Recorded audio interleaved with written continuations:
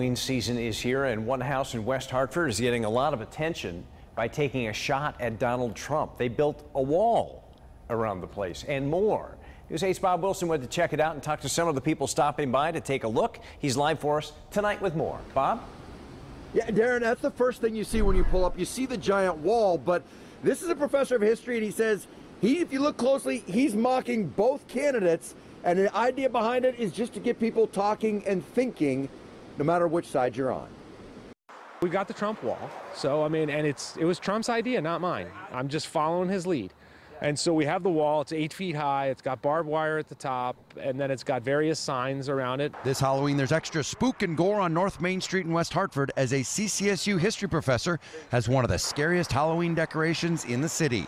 It has everything from a screaming Donald Trump in his tower overlooking a wall on the Mexican border to a ghoulish Hillary Clinton riding a donkey bridled in chains. I'm an historian, I'm a teacher. I try and get people to think. They don't have to think what I think, but they just have to think. So Halloween is known as the scariest holiday of the year, but a lot of people saying the week after Halloween, election week, that's going to be a lot scarier. People from all over the state are coming here to take a look at the Halloween decorations, and they each have their own take on what exactly it means. We're from Canton, Connecticut, up the basin. We, we just were told about it by somebody who lives here locally. Sort of tells both sides of the story and the wall. I was very curious about that.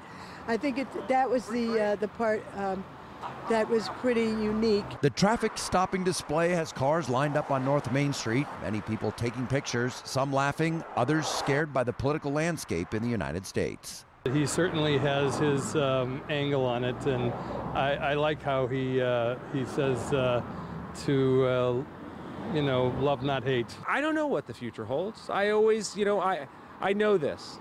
My politicians will never ever disappoint me.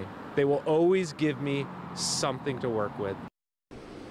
He says he starts playing that in August, has a lot of help. 50 hours worth from his kids. He says he lost one to college this year, so he didn't have quite as much help. Even has a friend saving up huge boxes for him, 50 feet of boxes in that wall. He says last year he did a tribute to the 50 years anniversary of the Vietnam War. I'm Bob Wilson, reporting live, News 8.